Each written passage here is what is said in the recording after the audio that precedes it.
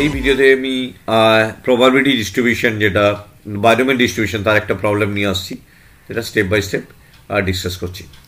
তো if the mean of the binomial distribution দেওয়া আছে, আমরা জানি মিন মানে হচ্ছে এনপি এটা যেটা আগেই জেনেছি আমরা। আর ভেরিয়েন্স দেওয়া আছে ভেরিয়েন্স মানে হচ্ছে এটা শুধু এনপি কিউ কারণ আমরা জানি স্ট্যান্ডার্ড ডিভিয়েশন হচ্ছে রুট ওভার অফ ভেরিয়েন্স আর স্ট্যান্ডার্ড ডিভিয়েশনের যে ফর্মুলাটা আমরা জেনেছি, সেটা হচ্ছে বায়োমেন্ট ডিস্ট্রিবিউশনের N P Q definitely variance equal to N P Q তো এখানে মিন আর ভেরিয়েন্স দেওয়া আছে।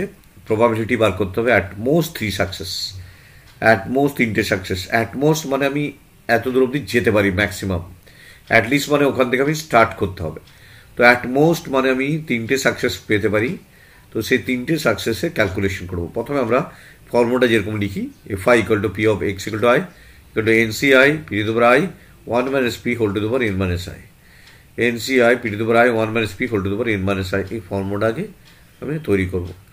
তো এই ফর্মুলা তৈরি করার পর আমি এখানে বসাবো mean equal to N P mean equal to N P R variance equal to N P Q mean equal to যদি three N P equal to three দিই, আর N P Q equal to three by two দেওয়া আছে।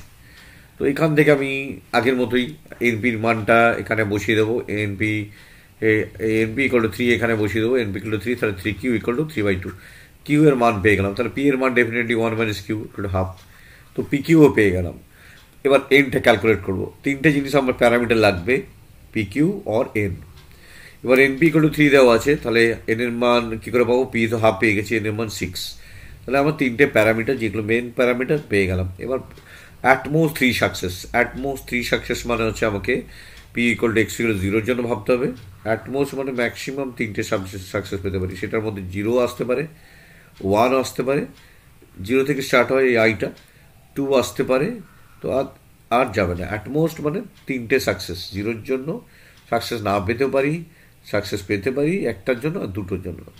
তো এখানে আমি at most মানে আমি at most তিন অবধি হতে পারে। তাহলে এখান থেকে আমি ফর্মুলার মধ্যে দেখো, তিনটে মান ক্যালকুলেট করলাম p two x zero x two one আর এক্স টু তাতে এক্সের আয়ের মান জিরো বসে একবার ওয়ান বসে টু বসে।